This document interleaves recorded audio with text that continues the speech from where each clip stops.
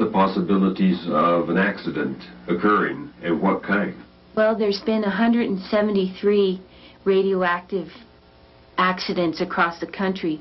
34 of those have happened in New Mexico. It will be that uh, with all the transportation of all these uh, high-level wastes and transuranic waste, we may be ending up with uh, Chernobyls uh, along the nuclear highways.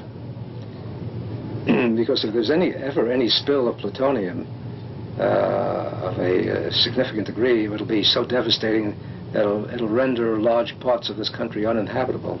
I think we need to have more respect for our Mother Earth than to than to force it to swallow this, this toxic excrement. Every time you produce bombs, you produce huge amounts of radioactive materials as wastes, which is leaking out into the air, into the soil, and into the water.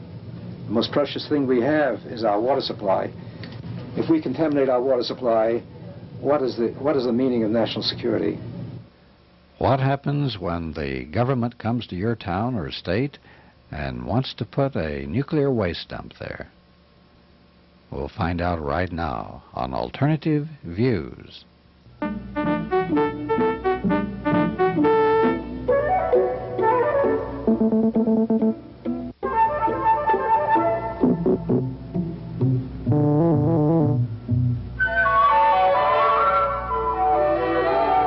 Before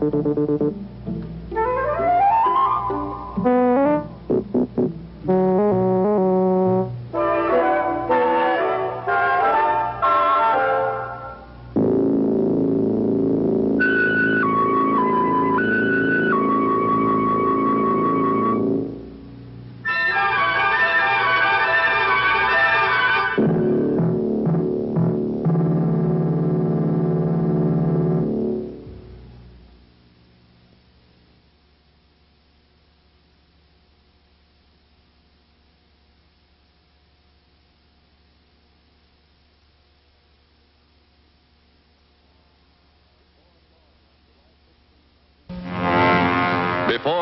on July 16, 1945, at the Alamogordo Army Air Base in New Mexico, a small band of military and civilian technicians waited nervously.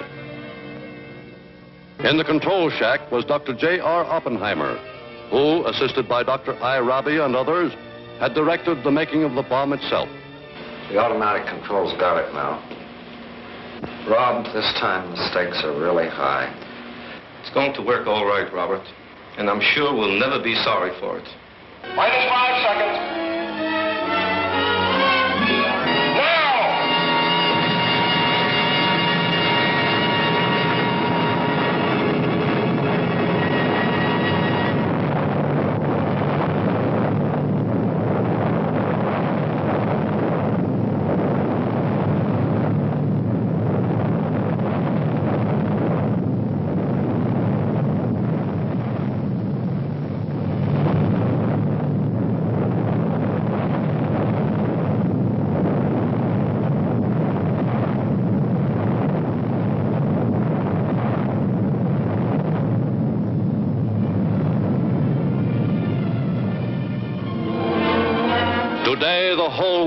Fears the ultimate devastation which a war of atomic weapons could bring. And the United States is prepared to cooperate fully in eliminating, by world agreement and for all time, the nightmare of atomic war.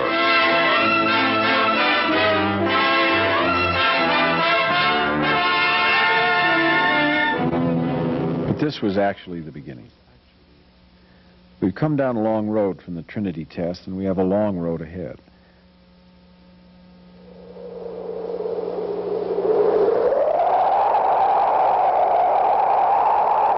Since the dawn of the atomic age, the world has experienced a steady buildup of nuclear arsenal. Consequently, there's a massive backlog of radioactive waste byproducts. The long-ignored stockpiling of nuclear waste has resulted in a situation where products designed to protect us are now threatening our own health and safety. The United States alone is armed with 25,000 nuclear warheads. 17 facilities across the country are involved in the research, design, testing, and production of nuclear bombs. These facilities have accumulated approximately 300 million cubic feet of radioactive waste. Cleanup of these sites, where possible, could cost 100 million. At Hanford, Rocky Flats, Savannah River, and other weapons-making sites, citizens are suffering from DOE negligence and secrecy. In recent months, the Department of Energy has at least been trying to clean house and is now admitting its own gross mismanagement. States are closing their borders to hot trash as they come to grips with the nuclear waste dilemma. Well, it sounds like you got a bit of a revolt on your hands out west. Can you deal with it? Well, we hope to. Uh, we know that the governors in the West are very concerned about our difficulties. Uh, we don't want to have permanent storage in Idaho or Colorado, and we're working to open a facility that's been 10 years in the making in New Mexico, and we have a few months, more months to go on that. Uh, well, if you only have a few more months to go, then everybody will be happy because I understand that Governor Romer says the site in Colorado will be full up in four months. Are you sure you can open that New Mexico facility in a few months' time? Well, we were targeted to open it up in, in October of, of this year. That has been about a goal for the past five years. Uh, we have some additional steps to take, some certifications and, and some planning that needs to be completed. But principally, we also need to get a, a form of, of transfer called legislative land withdrawal that we need to go to Congress for. Uh, Congress hasn't provided that yet, and we'll have to work with them as well. What happens if, uh, if New Mexico joins this uh, a, a, regional revolt? Are they going to demand uh, more safety standards than uh, than they might have given all the publicity, Mr. Frank. Well, we need we need to have that stored safely, and there's must be a solution. If we don't have a solution for storage nu storing nuclear waste, we've got to stop producing them. That's all. Well, I've been led to believe by top security briefings by the Department of Energy with other governors that this is an essential part of the secure position of our national defense some of the low-level nuclear waste that is generated in manufacturing triggers for nuclear weapons needs to be deposited somewhere. The United States Department of Energy believes it does have a solution for unwieldy nuclear wastes piling up at DOE facilities.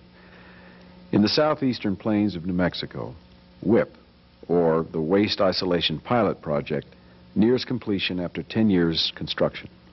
Millions of years ago, the ocean left vast salt deposits here. 100 acres of connected caves have been carved into these ancient salt beds, one half mile underground. Here, military nuclear waste is destined to be sealed away for a minimum of 10,000 years. Since the Trinity test in 1945, DOE has designed, developed, tested, and produced nuclear weapons. A major byproduct of our defense industry is transuranic wastes, paper, cloth, metals, and other products contaminated with radiation. The radionuclides, such as plutonium, are heavier than uranium, thus transuranic. Nuclear waste will be traveling through 28 states, perhaps through your neighborhood, on its way to WIPP. In communities along the nuclear corridor, concern is growing.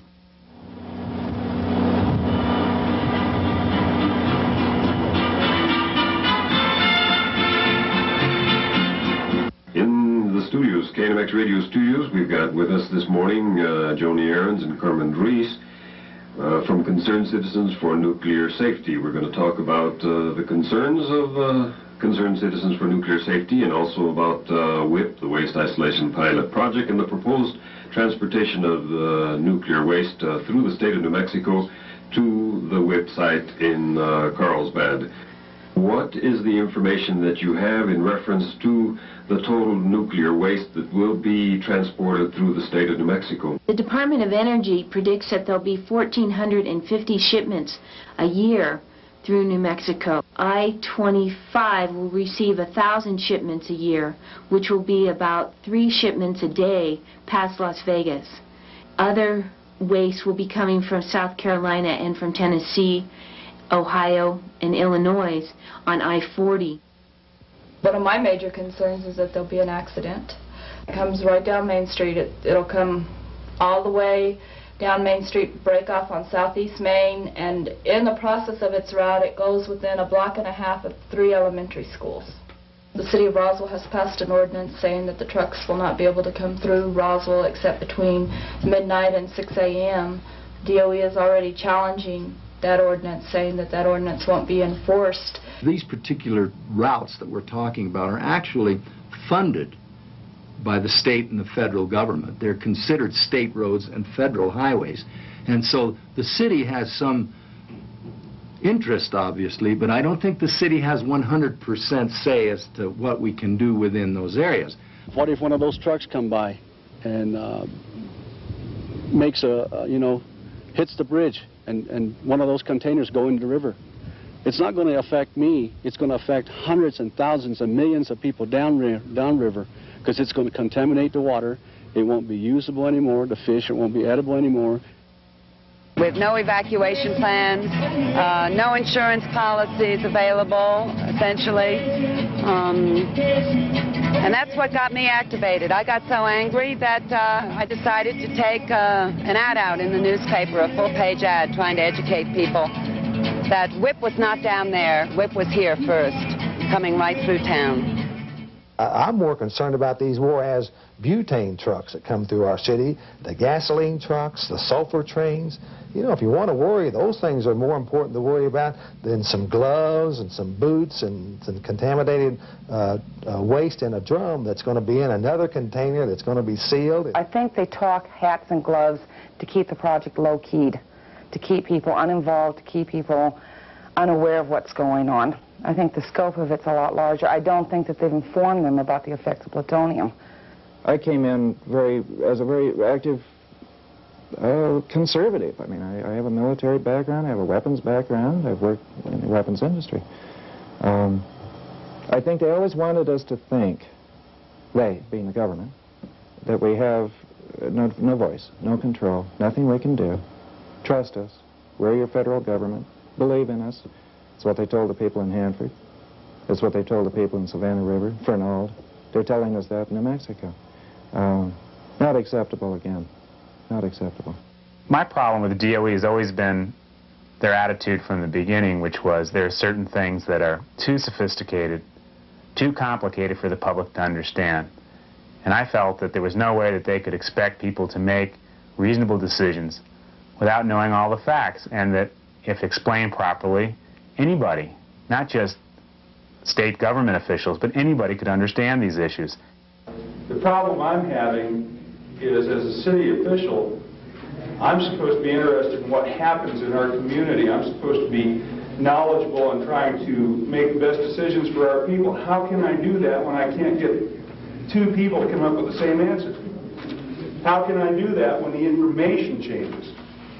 How can it be all of a sudden that now we have something which is not transuranic, something which is more hostile, something which is more lethal, when we were told it was going to be transuranic? What are we going to have? Is it transuranic or is it not? Wastes that are going to be shipped to WIPP are radioactive mixed waste. Now, radioactive mixed wastes are defined as, as radioactive waste which, through the process of their generation, are also contaminated with hazardous waste as defined by EPA under Resource Conservation and Recovery Act. And I think this issue of what's in the waste is a, is a classic example. I don't understand how it could happen that we could have gone through hundreds of pages of environmental documentation and all these years since 1980 when the final uh, environmental impact statement came out, which never said a word about mixed hazardous waste. How can it be that now, for the first time, we hear about the existence of the, of the hazardous waste mixed in with this transuranic waste, and, uh, and the whole application of another federal statute which was never mentioned. There's no excuse for that happening now on the eve of when they want to start WIPP operations. So my feeling is that this whole attitude that they started off with, which is if you knew what we knew but we can't tell you, uh, if, if, if that attitude is carried forward to today and I think jeopardizes the ability of, of the state and the federal government just to do its job and the whole democratic process that's, that lies behind that. If there was an accident uh, with one of these vehicles that's transporting uh, some of this nuclear waste, what type of material is being transported and uh, could it be an insignificant accident or could it be a serious accident? The trucks are going to be carrying plutonium contaminated materials in 55-gallon drums. Plutonium is the most toxic substance known to man. If one pound of plutonium was distributed across the world, every man, woman, and child could die as a result of it. This plutonium atom has a terrific amount of energy that it releases. although it uh, has uh, very little penetrating ability, once it gets against the membrane of the small passages in the lung, it could, a great likelihood, cause cancer of the lung. Once in the lung, the plutonium lodges in the tissues. These yellow rays show tracks made by alpha rays emitted from a single particle of plutonium-239. This particle can penetrate more than 10,000 cells within its range. Plutonium itself actually causes most of its damage through inhalation, but it can also cause damage by being ingested, especially uh, if it's ingested with chlorinated water. Now they find that it does make its way through the lining of the bowel, then it does settle in bone, causing bone cancer and leukemia, or it can settle in uh, gonads in the, in the germplasm and uh, affect the uh, sperm or ova and uh, cause uh, genetic effects. Transuranic waste or any radioactive waste, or for any waste for that matter, if handled properly and, and handled with the respect that they require, are not something to fear. The problem with these radionuclides is that they are dangerous for very long periods of time. Plutonium-239, for example, has a half-life of 24,000 years. That means it takes about 240,000 years before it decays to a level that would be considered not very dangerous. Well, it's true that, uh, that radioactive materials uh, last a long time, but they're also very easy to detect. And so if there would be an accident, you would merely scoop up the dirt around the site and package it away. Much of the waste is in solid form, such as clothing, dirt, or metal, which can be picked up and contained. The maximum accident in the case of these nuclear leaks is very small. Uh, there's no potential for explosives, for explosion, and there's uh, very little likelihood that the material would move very far from the accident scene, so it could be cleaned up. We now know that 40% of the hazardous waste is combustible, thus posing a more serious and immediate threat. Organic waste, 3%, and, and so on. I think the combustible waste is perhaps the most significant because even a layman can understand that when combustible waste is exposed to high levels of heat, there may be some effect inside the TRUPACT and not just from uh, the exposure to the heat on the outside. Wind is a critical factor which must be considered. The worst case scenario would be if a fire occurs within a breach of a container. The wind could then carry plutonium particles through the atmosphere, traveling considerable distances. As we learn more, acceptable doses of radiation become smaller. Currently, 5 rems is allowed for workers in nuclear plants, equivalent to 1,000 x-rays on bone marrow. Well, I think you can say that most scientists uh, feel very strongly that uh, there is no uh, safe threshold for radiation. They go by what is called the linear no threshold theory, that uh, doses, doses accumulate, the more dose you get, the, uh, the, more, the more health effects. The DOE claims people will not be exposed to harmful levels of radiation. The waste will be transported in specially designed TRUPACT containers. TRUPACTs are surrounded by uh, three mini vaults, if you will, three uh, um, walls that are stainless steel, which includes uh, a 10-inch polyurethane hardcore foam that acts as a heat retardant and uh, energy absorber in case of impact. Um, and this outer layer basically protects that foam. The foam protects the inner layers inside. So you basically have many vaults within this TRUPACT. Uh, this is a formation. It does have... The container looks impressive, but it still needs to pass Nuclear Regulatory Commission testing. In one test, the container was dropped 30 feet onto a concrete slab. In this test, the outer shell sustained a puncture. The DOE claims such punctures will not endanger the contents. In a second test, the container sustained a further break. Some citizens feel that these tests are not difficult enough and do not reflect real-life scenarios. My concern about the TRUPACT testing that I've read about is that in the TRUPACTs, as I understand it, has been some kind of powdered cement. Yet in the latest DOE document, we find out there's going to be about 85% of the of the transuranic waste is going to be hazardous waste or mixed with hazardous waste, including combustible materials and various other materials that are listed as hazardous materials under federal law. Therefore, when they're exposing the TRUPACT to fire, uh, intense levels of heat to puncture tests, it would seem to me reasonable to at least simulate the kinds of waste that will be in there so that they have some validity to their tests. What are the possibilities of an accident occurring, and what kind? Well, there's been 173 radioactive accidents across the country. 34 of those have happened in New Mexico. We do have some rationale because we- we've been shipping this waste from Rocky Flats in Colorado up to Idaho for, you know, for a very long period of time, 25 years or more. And we have had accidents, but there has never been a release. And uh, there has never been a release of radiation from a Type B container. It may well be that uh, with all the transportation of all these uh, high-level wastes and transuranic waste, we may be ending up with uh, Chernobyls uh, along the nuclear highways. because if there's any ever any spill of plutonium uh, of a significant degree, it'll be so devastating that it'll, it'll render large parts of this country uninhabitable.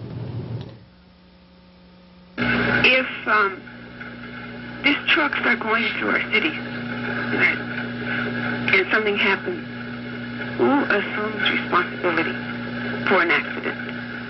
Well, your volunteer fire department or your fire department would respond. The state police are the ones that would take over the situation when they responded. One of my services would be first responder to a scene of an accident in, in, in this, at least in the city limits. Uh, it's to determine the, uh, whether or not there is any contamination as a, as a result and, and to attempt to form some initial opinion as to the uh, degree of that contamination. Carlsbad had recently upgraded their equipment with a hazmat truck. However, Tully said first responders would not necessarily have Geiger counters or even protective clothing. And the second concern was that they were telling, or at least uh, saying they were going to train the emergency preparedness people in the various communities along the WIPP route as to how to respond to an accident, and I didn't understand how they could even begin to train these people if they weren't able to tell these people what kind of materials they were dealing with. We've placed it into the responsibility of our fire department, and they are now pre preparing the plan for what we should and can do in the event that a, a, a spill might occur. So to, to say that today we're ready, it would be not an accurate statement. I don't think we are ready. Since this interview, the Santa Fe Fire Department received two official DOE first responder kits containing one plastic sheet, two paper suits, rubber gloves, one half-face respirator, and a roll of duct tape. I know we are not equipped. We have no equipment whatsoever to handle any accident uh, that might occur. But uh, I'm sure that if there is any, uh, any funds available for any special kind of equipment, then I'm sure that we will be asking for, for assistance in funding this. The WIPP trail is routed through major populated areas across the nation. In Congress, monies were promised for New Mexico bypasses and road improvements. No funds have yet been appropriated. One citizen has taken his concerns to one of the busiest intersections in New Mexico. I was overwhelmed with the support that I felt from uh, passing drivers uh, in the form of them honking their horns, in the, in the form of them shouting out their window, thank you for doing what you're doing. And I realized that in some way, we as a community at that moment had been bottled up and we hadn't been, we hadn't had the opportunity for a long time to express our feelings about, about the people's input about WIPP. Joni Arends took her concern door to door along the WIPP route. What if I drop it, Aubrey? yeah, thanks. What I would like to do is take the signs and go along the routes and educate the people along the routes and let them know that the trucks are coming by and what hazards are potentially there. All of these issues that get raised when the government wants to bring plutonium contaminated waste on the roads. From South Carolina, and it's all going to converge here in New Mexico. In Santa Fe, Concerned Citizens for Nuclear Safety, or CCNS, has grown into a powerful political lobby. Incredible. There's no precedent for this kind of grassroots activism going against somebody as powerful as the DOE and the nuclear weapons industry and the defense contractors. We put $200 billion on defense contracts on hold when WIPP didn't open. It's amazing. So now we have people all over the country. I think the most amazing thing about the organization and about the WIPP issue is what it's done to the community. It's brought us together. We're learning how government works.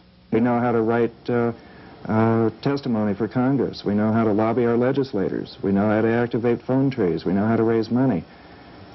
We have to be very cautious, too, at this point, not to pat ourselves on the back because we have a long road ahead of us. Sasha Pyle took her concerns all the way to Washington, D.C., where she testified to two House subcommittees. Well, we know now that more calls and letters have been generated by the WIPP issue than in any other issue in, in, New Mexico history. And the calls and letters have gone to the people here and to the people in Washington, and they do make a big difference. After our first meeting, we didn't even know if we were going to have a second meeting. And then some other people joined, and then some other people called. And today we, we're literally in the thousands. In the biggest protest scene in Santa Fe's history, citizens from the northern part of the state expressed concerns about safety and future generations. To every woman and man who's worried for your children, welcome. Welcome to the bigger family. And to every New Mexico person who's worried about the contamination of this land, welcome. You're not struggling alone anymore. We have sadness, we have anger, we have a sense of frustration. These feelings are totally appropriate. They're healthy feelings. And in fact, they're essential because we can't have a political movement without our passion. We need our passion. We want safety. We want safety. We want safety. If it cannot be demonstrated that it's safe, it has to be shut down. Yes, in that level, we're a stop WIPP group. But only if it can be proven that it's not safe. There's little protest about WIPP in the southern part of the state, where in the past people have had to depend economically on failing agriculture, potash mining, oil, and gas industries. The WIPP has uh, done some good economically for us. I don't think that the federal government or any agency would uh, bring anything that would be unsafe for us. So we don't feel that it is that unsafe. Then the best salesman we have is the guy that's working out there making thirty-five, forty thousand dollars. That's got a job for the next 25 years with some security. He doesn't have to worry about the potash prices. He doesn't have to worry about oil and gas. He doesn't have to worry about a layoff, uh, something like that. And, and now they're talking. You know, there's enough waste out there for 75 years. So uh, once we get this thing open, I think you're going to see this thing just uh, uh, this really do uh, be a great, tremendous impact to the state of New Mexico and to uh, Eddy County and the city of Carlsbad. I don't think it's helped the employment situation in this town.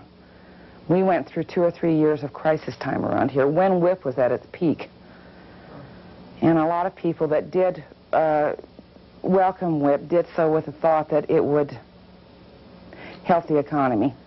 New Mexico gets much more money back from Washington than it sends to Washington in the form of taxes. So that says in itself that government is big business in New Mexico. Clearly we have those people standing in opposition to a, to a number of people from the Carlsbad area who are saying, my job is dependent on WIPP. You know, or the people in the Grants area who said, my job used to depend on uranium mining and milling, and I'd like for that industry to come back.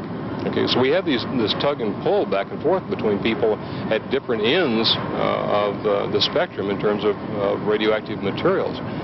Um, what I don't hear a tremendous amount from is the citizens who have lived here for multiple generations.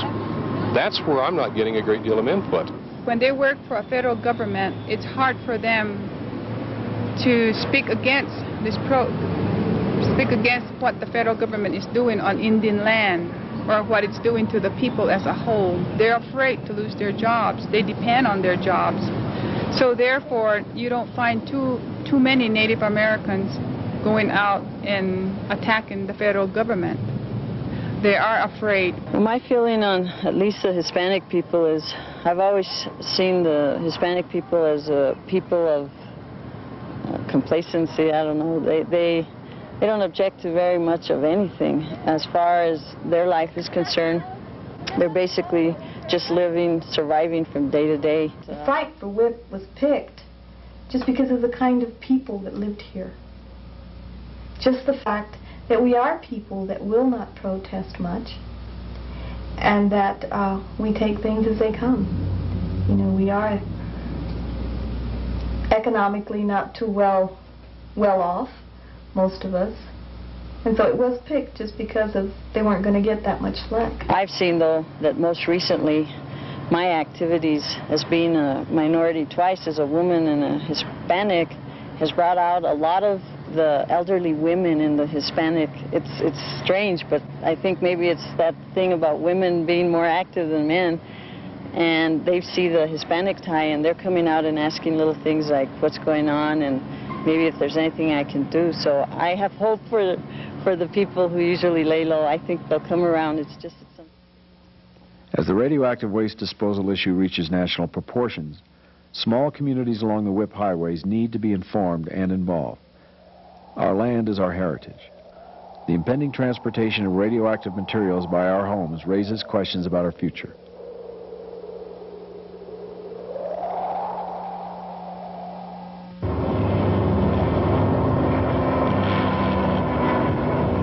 Exactly is in the barrels?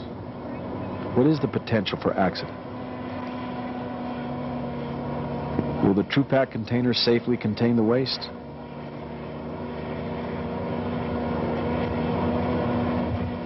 Are we prepared to respond to an emergency?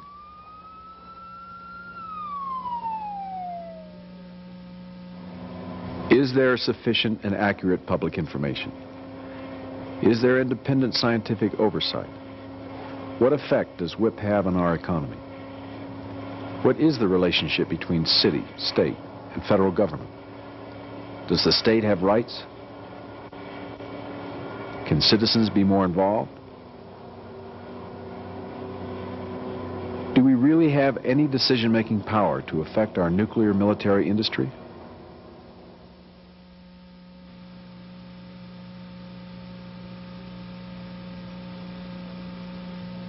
Nation has three different tracks for solving the radioactive waste problem. High level, the transuranic waste going to WIPP, and the low level program. All of those are controlled by the Department of Energy. WIPP is the first one. WIPP will set the model and the pace and the entire routine uh, by which the nation deals with its radioactive waste problems.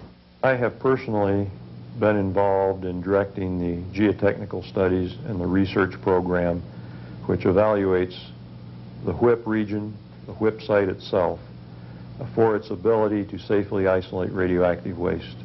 I've, I've been involved for these 13 years and I've become convinced that the WIPP site is indeed uh, a very safe and satisfactory location, that salt itself is a very desirable medium uh, for this waste isolation. Well, it's beneficial in particular because it gives us a laboratory on the deposition of nuclear waste. It provides jobs in the southern part of the state, strengthens that economy, and it completes the cycle of the nuclear energy business that we've had in New Mexico, starting with the science at Los Alamos through uranium mining and refining on into the use of those energy fuels and now back into waste deposition.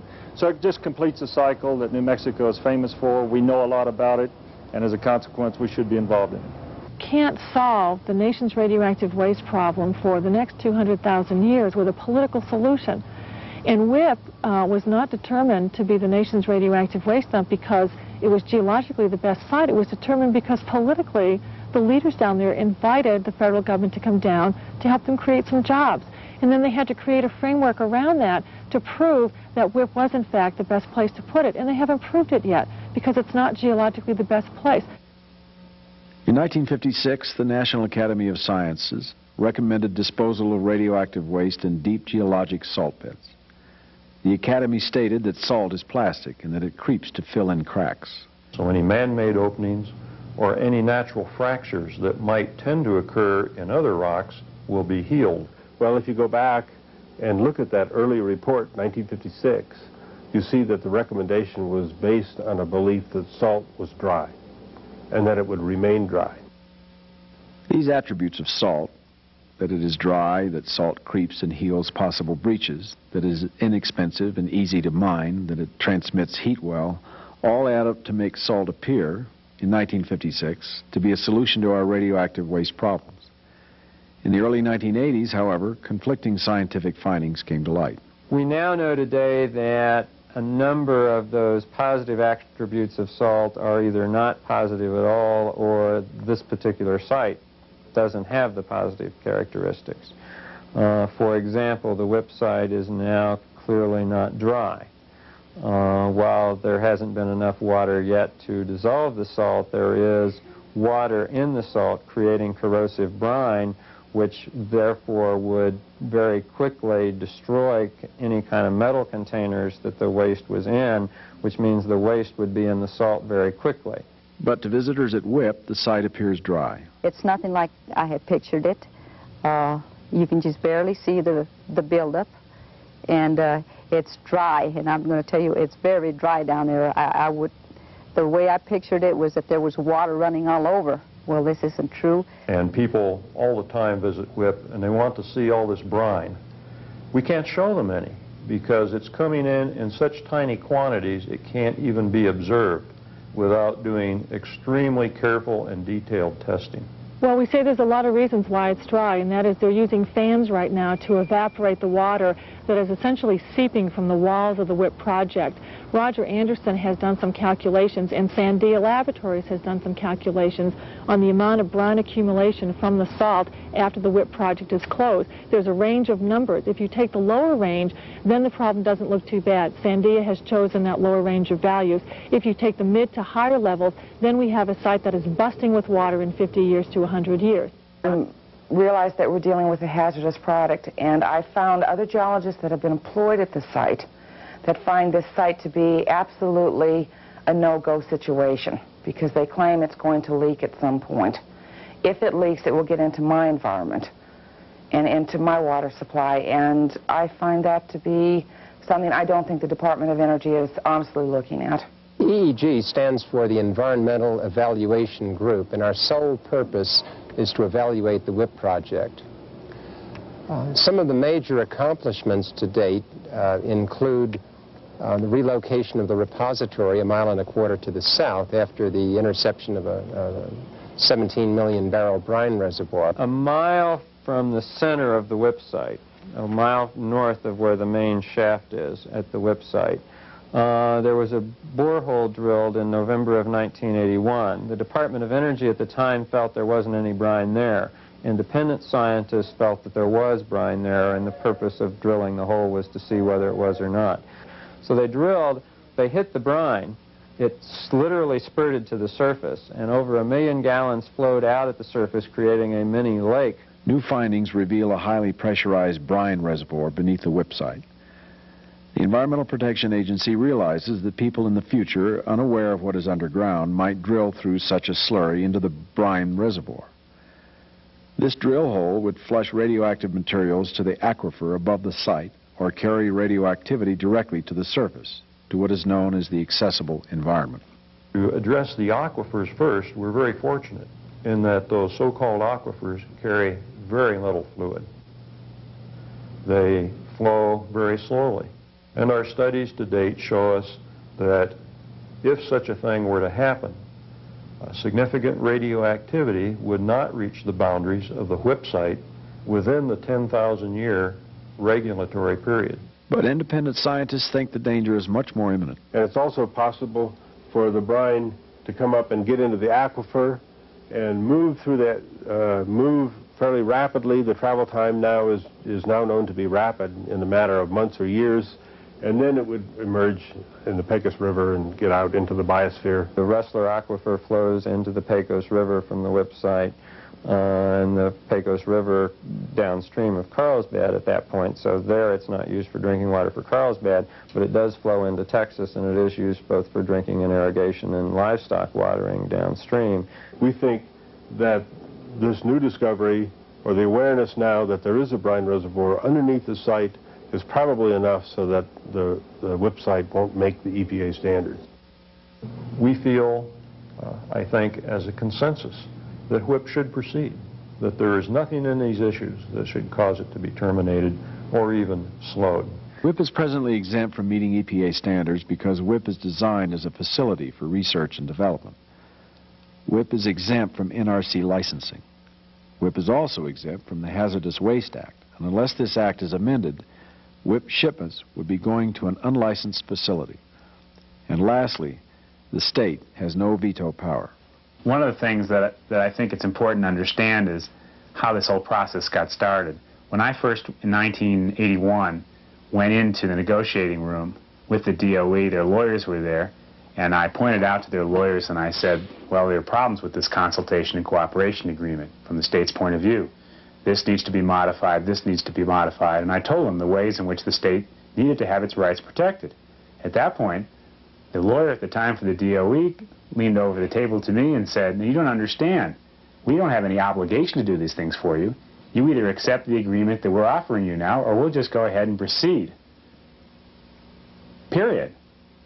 In other words, they were basically saying to me, uh, we'll do this out of the goodness uh, of our heart. And I didn't believe that at the time. I still didn't believe that. This consultation and cooperation agreement is the only leverage the state of New Mexico has at present. New Mexico Representative Richardson sponsored a bill in Congress which requires that WIPP meet EPA standards before the land is withdrawn from the Bureau of Land Management and given over to DOE's exclusive control. This is what the bill that I have does. It says that no waste can come in whatsoever unless all EPA standards are met. All of them. And they can't have experiments. The Senate version of the land withdrawal bill does allow for experiments. These experiments are controversial because they permit a percentage of waste to be placed at WIPP without meeting EPA standards. The kind of information that we need has to do with how much gas will be generated from the waste itself as the organic materials in there. The coveralls and the booties and the rubber and the chem wipes, as this all disintegrates, it forms gas. And we need to know uh, the rate at which that gas is produced and the kinds of gas. Unfortunately, we're not satisfied with the experimental plan that DOE has provided to date. In fact, they, the plan uh, really only provides for one experiment to measure uh, different types of gas being generated from the different waste forms in, a, in an actual mining environment.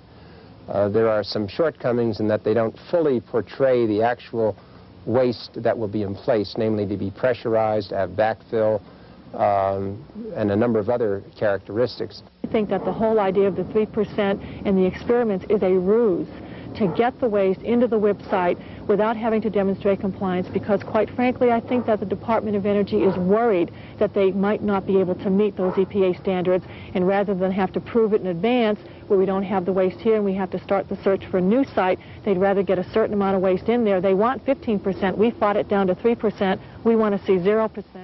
If the bill does not pass by the spring of 1989, the Department of Energy may bypass Congress and take control of the land administratively. In the overall, the people of New Mexico want, want WIPP to be proven safe, and I really firmly believe this, this is not a PR statement, I well, think that, that they have to let us attempt to prove it's safe. Right. Uh, it's, it's as easy as that. If we can't do that at the end of that period, then uh, all this is mute. All the demonstrations and uh, well, the everything things that else. we're concerned about is and if they'll back off and let us get this thing open and give us five years of testing like we want to do and don't cut us back, I think we can prove that it worked. And if it doesn't, take it back and put it in, uh, in uh, Rocky Flats or, or Los Alamos or wherever it came from. But I think we're on the right track and we've got a great program.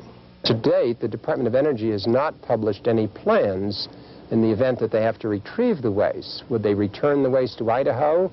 Would they find another facility in New Mexico? would they put the material in the first high-level waste repository? And if there are no alternatives, then uh, perhaps each drum should have uh, stenciled on the side of it to be returned to sender in five years if WIPP proves unsuitable. There are many questions left unanswered. Citizens and public officials are pressing for accurate information.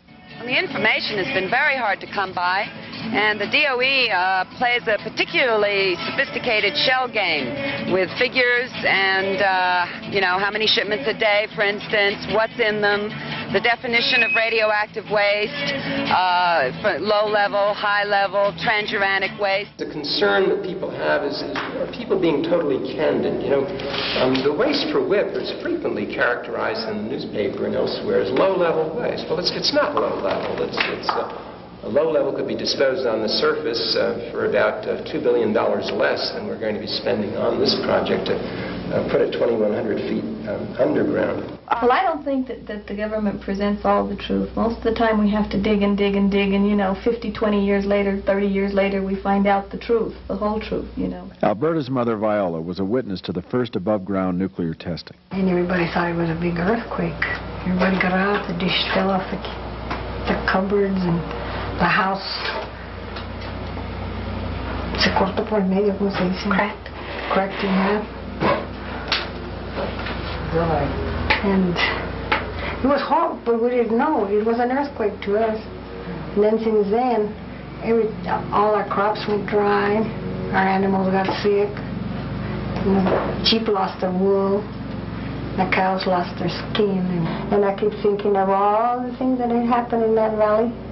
My God, it was that, and we didn't know a thing about it. Nobody in that valley knew a thing about it. They still, they still don't know. People are still left there. They still don't know that, and they're dying of cancer. My family has. My sister died of cancer. My daddy died of cancer. My cousin, two cousins died of cancer.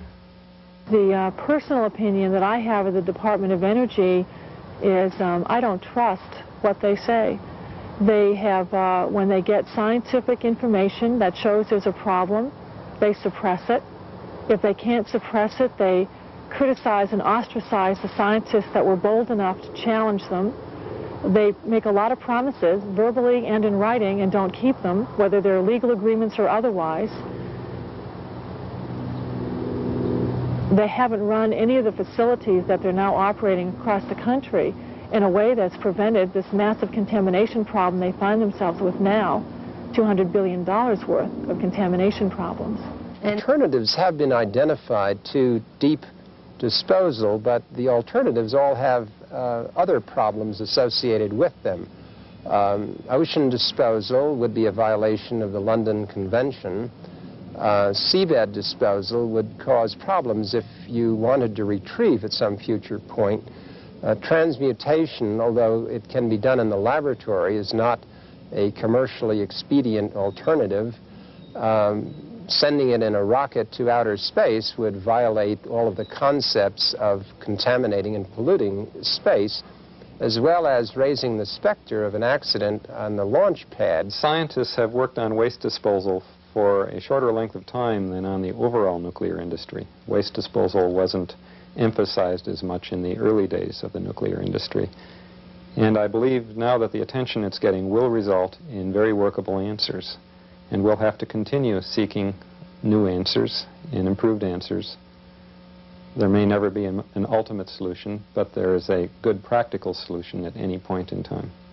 I don't think you can get to good solutions if your process is bad. And I don't think you can have a good process if, if the government isn't very candid about all the aspects of the project. If you are candid and you have an open mind and don't basically make decisions and, and do studies that justify decisions that were made years ago, I think you have a lot better chance in coming to a successful conclusion or a successful resolution to a problem. WIPP is really not the solution to the waste problem. It's a bad site. The process has been bad. The public has been largely excluded. The state doesn't have veto rights. There's no independent technical oversight from NRC or other bodies. Whether this is the best site in the country, I've always refused to say we've got the best site. But certainly uh, of the other salt sites that were examined, uh, both for WIPP in the 1970s and for the civilian radioactive program when they were still interested in looking at salt sites. Uh, out of those potential sites, I think I can say we have the best site. In 1979, or whenever I submitted my report, I had concluded at that time that it was not an ideal place. The Delaware Basin had some problems, and one of these was a dissolution of salt and the occurrence of the brine reservoirs.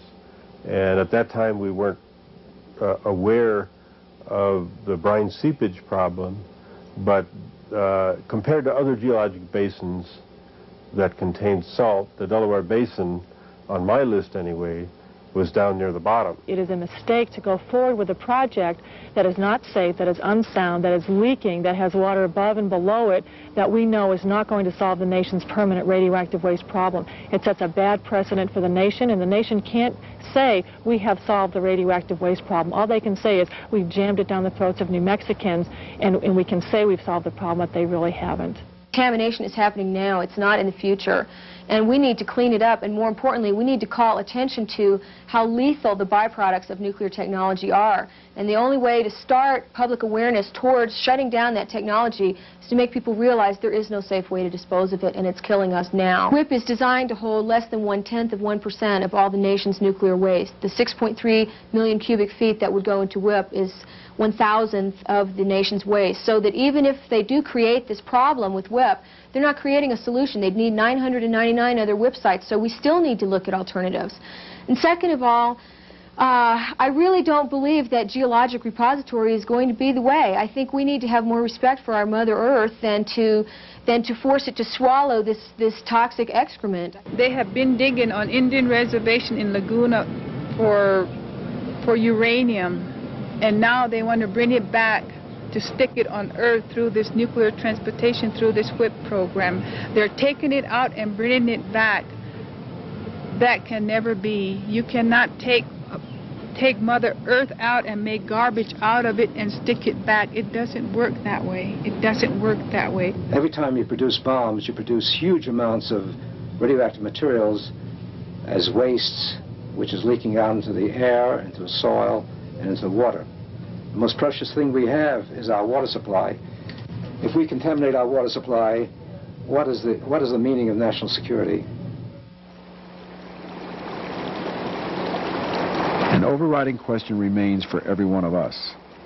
What is our responsibility and how far does it extend into the future? Well, I think when we're looking at the possible destruction of the natural and indigenous world within our own lifetimes, we have to realize that we have a choice to make on a personal level that's going to affect the future of the world for hundreds of thousands of years. We're dealing with a substance, plutonium, that is lethal for 250,000 years. As technology increases and as knowledge increases, uh, we can't hold those in the past responsible for what they did not know. Uh, and so maybe the future won't hold us responsible for what uh, we did not know. All we can do is the, is the best we can do. Nuclear waste is a crime against humanity, and uh, those that are uh, infecting us should be prosecuted. Well, there's a, uh, a regulatory uh, piece of guidance which addresses the question of how long into the future should we assume responsibility. The people who uh, struggled with this question when developing the EPA standard said that perhaps 10,000 years is a reasonable period of time. Very far, because I got 30 grandkids and four great grandkids and more coming every day. So you can imagine, I feel awful. I feel awful. I feel real responsible, but I think that's why I say something. My family, and I've got kids here, and I've got grandchildren here, and if I thought that project out there would endanger their health and their welfare in the future, I'd be the first one to stop it. But I think that uh, this town has a great future. I think the state of New Mexico has a great that future. all the generations which will ever live on Earth are here right now. So whatever we do to the genes, whatever we do to the to the uh, sperm and ova of people will, be, will have its effect on future generations from now till forevermore. So that uh, I'd like to leave the planet in the same shape it was when we found it when it was able to sustain life in, in a healthy way. So that's forever. If we misuse Mother Earth, and if we've misused the sun, and if we misuse anything else, then it's gonna it's gonna come back on us. And and what we look at in, in, in the Indian belief and in the Indian traditional way of doing this is that not to misuse anything, but only to ask for the goodness of whatever is there. Because there will always be birth. And I hope when that birth comes that they'll always they'll also see the light, the sun will always be here, and that the tree will always be here, and the waters of the earth will be here, where they can take them by the hand and drink this beautiful water like it was before, where they can see their reflection of love in this water. I hope for this for the future generation of the peoples here on earth.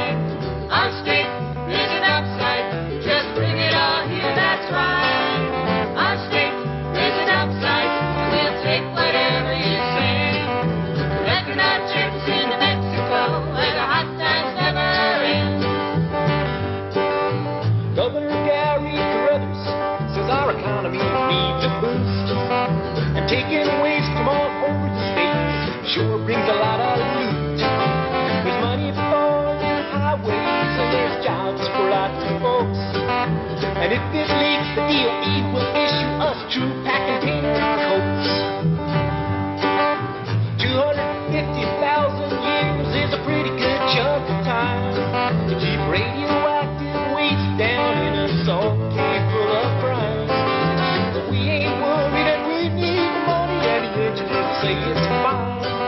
So send it to us, it's an economic loss and I'm on the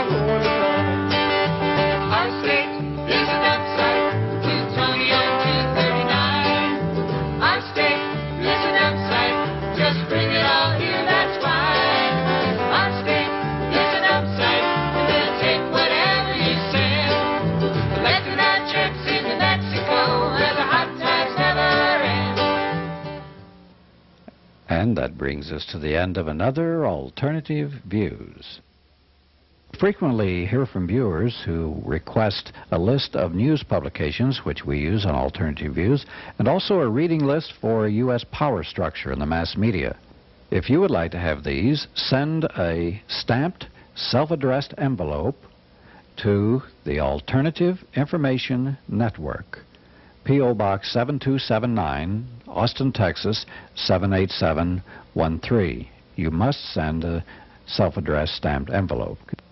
We also can provide you with information on how to get documents by John Stockwell, the former CIA officer. We'd like to thank Penelope Place from Santa Fe, who let us use her wonderful documentary on Alternative Views. Alternative Views is a production of the Alternative Information Network, P.O. Box 7279, Austin, Texas 78713.